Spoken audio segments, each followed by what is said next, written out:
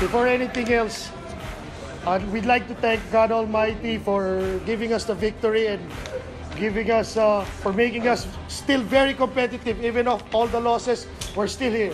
The reason why I brought all these young men here, because we win together, we lose together. Diba? That's our mantra. That, walang iwanan. So, before you ask me more questions, you know how I am every time uh, we win. Sila ang bida, hindi ako. So I leave the press uh, room right now. Sila ang bida, sila yung naglalaro. They deserve all the credit. Maraming maraming salamat. Mabuhay kayo lahat.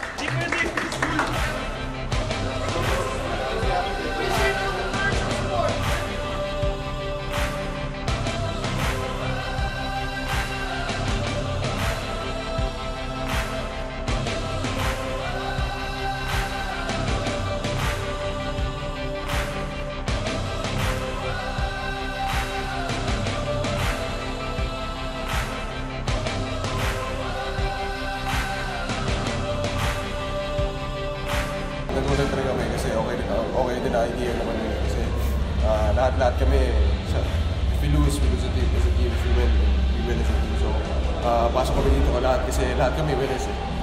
So parang, um, alam mo naman si Coach Lamay, for me, he's really a unique coach and that's one one thing I really love about him. Then when we got the win, parang sobrang ready namin pumasok ng, ano, ng, the, what's it called? Press room. Press room. So yun, parang everybody was excited, ganyan, ganyan. So yun nga, I think never been, never been done before yun. ah. So yun.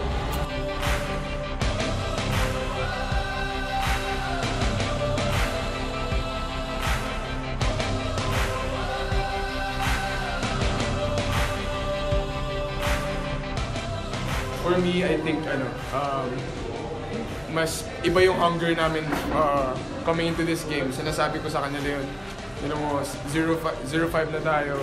Let's, let's, let's get that win. And dapat sabi ko sa kanila, simula pa lang ng uh, kanina umaga, dapat iba na yung gutom nyo, iba na yung, uh, yung drive nyo for this game. Alam mo, um, easily yung four games, yung first four games namin. I think we deserve that. We, we, de- we deserve those games.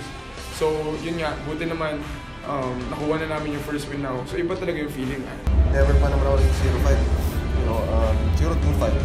Pero, maganda nangyayari sa amin to kasi baka mas lalo kami, you know, bumaba. Pero uh, since nasa baba na talaga kami, we're going to go back up. Lose. So, nothing to lose na kami every game and we just have to uh, build momentum from this. Yes! Yeah, yeah, yeah. Come Sunday. Yeah, sana, sana.